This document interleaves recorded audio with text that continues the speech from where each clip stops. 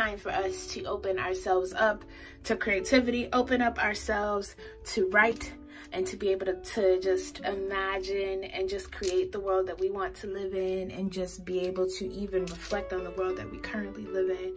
Um, but we are about to write. So write with me. You ready? Beautiful. If you are like me, you've probably been, been in the house for the past couple of days and haven't had the chance to probably go outside or just been staying in your room watching Netflix or um, doing your homework and just like not being able to enjoy outside. So today's challenge, we are outside. And if you're like me, you probably live in an area where it's a lot of streets um, and the park is probably a walking distance away. And if you just want to stay in front of your house, feel free to. But if you want to walk to the park, you're more than welcome to. Um, and so today we're chilling on my porch.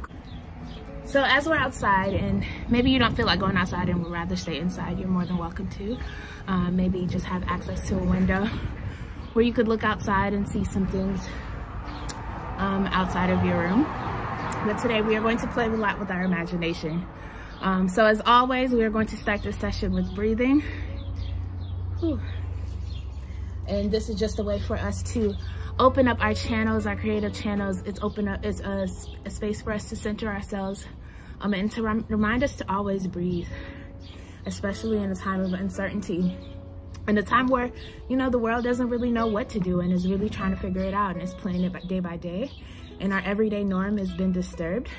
I think it's really easy to get um, discouraged. It's really easy to be in the unknown. And um, this writing workshop is not to take that away from you. It's not to even compress it, but it's to open all those channels up and using our writing to be able to explore what these thoughts feel like. So let's start off the moment by breathing. It's a bit breezy here and there are a lot of cars. Um, and so uh, we'll just start this moment off by breathing. Cool?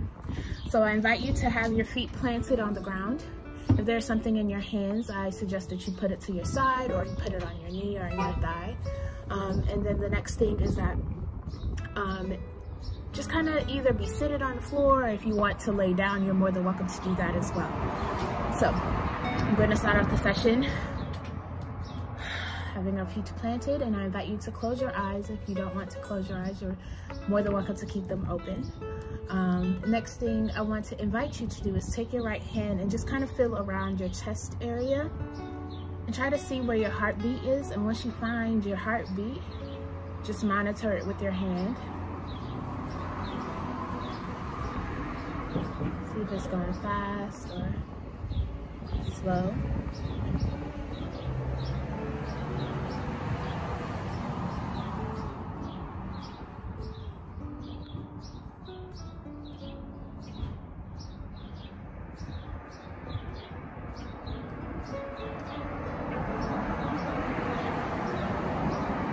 Mind starts to wander, it's okay.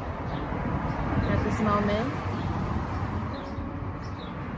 as you are breathing, I want, to, I want you to monitor the noise that's going on around you.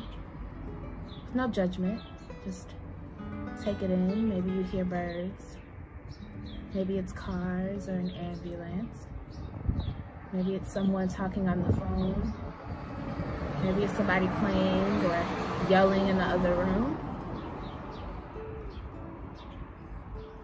Take a second just to hear it with no judgment, with no criticism. Just hear it coming in. And if your mind begins to wander, that's okay.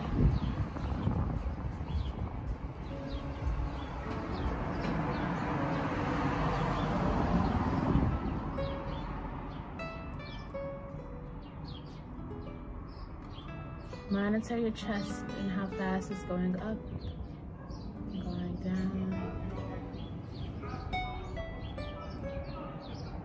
there's noise around you,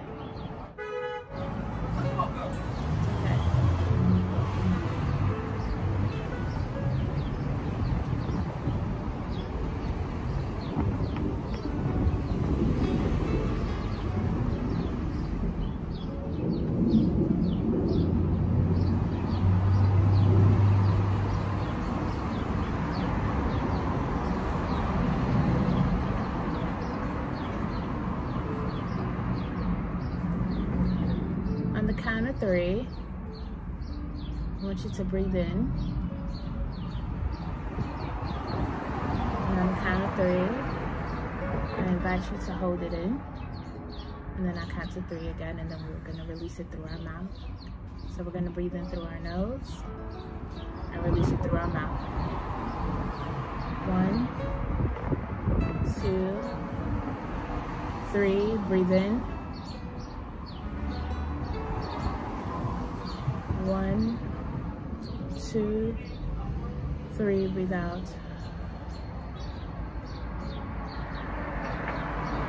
One, two, three, breathe in. One, breathe in. Breathe out. Breathe in. One, two, three, breathe out. And I invite you to breathe in all the things that you know you need in order to accomplish this week. This week thus far, whether good, whether bad, whether stressful, whether exciting. You're going to think about all the things you, that you need um, to finish off the week. So whether that be more patience, more grace, more love, whatever that may be, I invite you to imagine yourself breathing it in. And when I say breathe out, I want you to imagine yourself breathing out the things that has not supported or not um, that has hindered you from showing up as your best self for your own self this week. Um, so whether that be anger, whether that be frustration or jealousy, whatever that may mean to you, imagine yourself breathing out those things um, so that you could complete the week feeling your best self, whatever that may look like. Um, so one, two, three, breathe in the things that you need through your nose. One, two, three, breathe out the things that you don't need. One last time. One, two, three, breathe in. One, two, three, breathe out.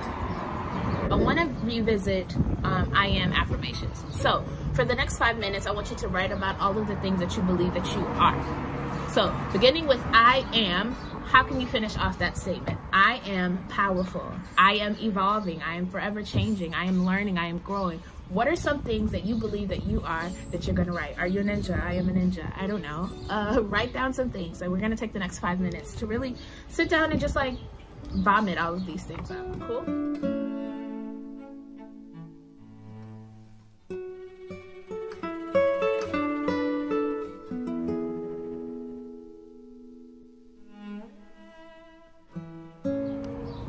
Right, beautiful.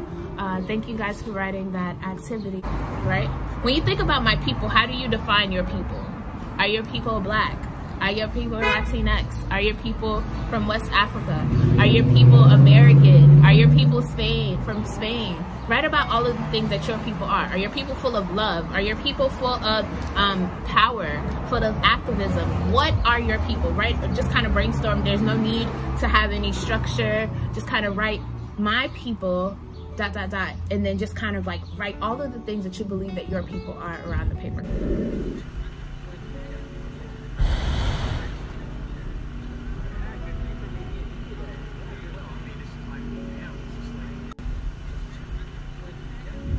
So um, today's writing activity is inspired by Margaret Walker, uh, For My People, which is one of my favorite poems. Um, and in the poem, she talks about who her people are and where they come from.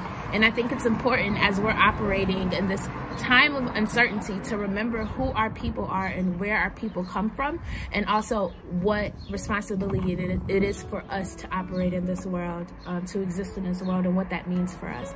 So I'll just read some of my favorite words. Uh, for my people everywhere singing their slave songs repeatedly.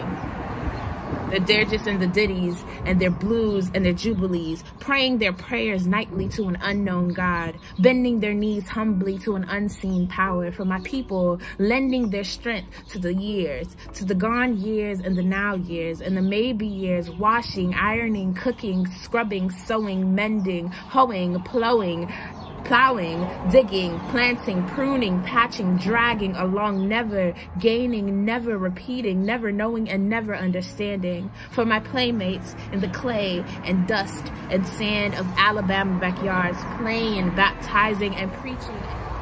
For my people walking blindly, spreading joy, losing time, being lazy, sleeping when hungry, shouting when burdened, drinking when hopeless, tied and shackled, entangled amongst ourselves by the unseen creatures who tower over, over us menacingly and laugh. For my people standing, staring, trying to fashion a better way from confusion, from hypo hypocrisy and misunderstanding, trying to fashion a world that will hold all the people, all the faces, all the Adams and Eves and their countless generations. Let a new earth arise, let another world be born. Let a bloody peace be written in the sky. Let a second generation full of courage issue forth. Let a people loving freedom come to growth. Let a beauty full of healing and strength of final clenching be the pulsing in our spirits and our blood. Let the martial song be written. Let the daggers disappear. Let a race of men now rise and take control. So friends, this poem is something that I've been sitting with for a very long time and for uh, at least since the time the pandemic hit and I've been really wondering what it means to create a world that I personally want to live by. Um, Octavia E. Butler asks us that if we want to create, if we want to live in a future that is um, ever expanding, that is fruitful, that is abundant, um, then what does that look like for us now and what is our responsibility now? Um, and maybe tomorrow we'll have the answers. And today is just sitting with the question. Maybe it won't come tomorrow. Maybe it's five years from now, five days from now, five weeks from now. Um, what so be it? I want you to write about who your people are and describe them, what they look like, with no judgment, with no criticism, as always. But who do your people? Who are your people? What do they look like? Where do they come from? What do they eat? What do they do? Um, what happens when music is playing? What music is playing? And I challenge you and I write it uh, to write it. And when you do write it, um, read it to yourself um, in every glory, not in shame, um, but read it and, and read it with pride, read it with power. And if you want to share with me, please, I will attach my email address and I'll also attach the poem as well so that you're able to read it and um, get inspired by it.